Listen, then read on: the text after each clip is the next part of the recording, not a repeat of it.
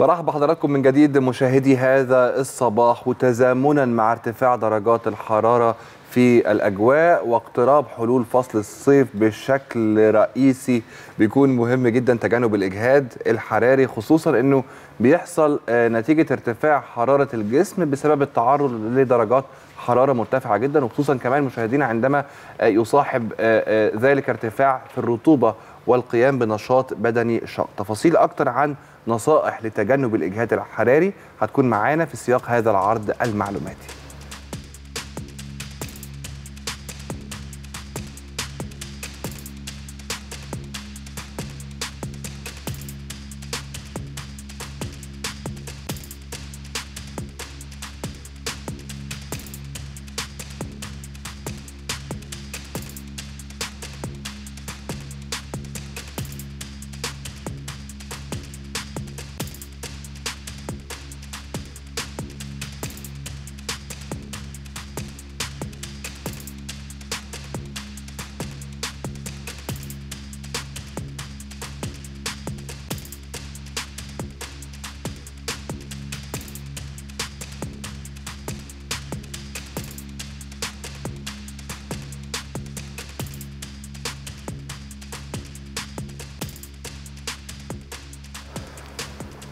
تفاصيل أكتر عشان نعرف ناخد احتياطاتنا خلال فصل الصيف. بينضم إلينا هاتفيا دكتور مجدي بدران استشاري المناعة. صباح الخير على حضرتك يا دكتور واهلا بيك في هذا الصباح. خيرات عليكم جميعا. أهلا بحضرتك. قبل ما نروح لمرحلة إحنا محتاجين نصايح علشان نتجنب الإجهاد الحراري. محتاجين نعرف من حضرتك إيه هي أعراضه والفئات الأكثر عرضة ليه علشان نكون في أمان مبدئيا. طبعا الإجهاد الحراري بيجي في الناس اللي ما عندهاش ثقافة. التعامل مع ارتفاع درجة الحرارة. ده دلوقتي العالم كله بيعاني من المشكلة دي عشان تغير المناخ وغياب الثقافة ومش بس الجهاز الحراري عندنا حاجة اسمها الوزمه الحرارية. يعني ممكن الواحد يورم الطفح الجلدي التشنجات الحرارية الجهاز الحراري الإغماء الحراري ضربات الشمس نوبات الربو الصيفيه ودي موجودة أيضا دلوقتي. آه لازم ياكد برضو على دور فقدان الماء الجسم والملح. خلال التعرق المفرط ده بيخليني عندي جهاز حراري. آه ضربة الشمس بتبقى أحد المضاعفات للجهاز الحراري.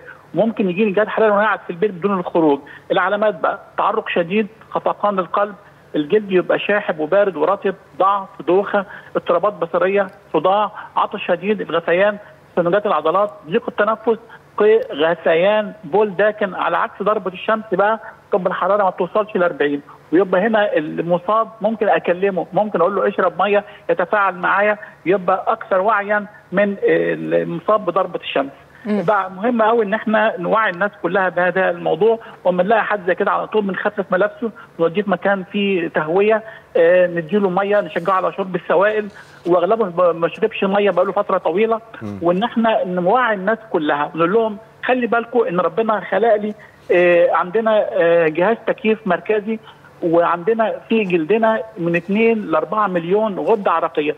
لو الغدد دي عرقت وطلعت المية بس على شرط بديها مية تاني كل شوية بنوع من التبريد مش محتاج أنا تكييف أو مروحة ومروحة كفاية. يبقى إحنا ناقصنا حكاية إن إحنا ننشط الغدة العرقية عندنا. واحد. اثنين إن أنا لازم ألبس في الصيف ملابس فصاده واسعة قطنية وتكون آه مصنوعة من المادة زي القطن مثلا أو غيرها أو الكتان وتكون خفيفة وتكون واسعة وما تكونش غامقة ولا زرقاء ولا الأشياء اللي بنشوفها دي.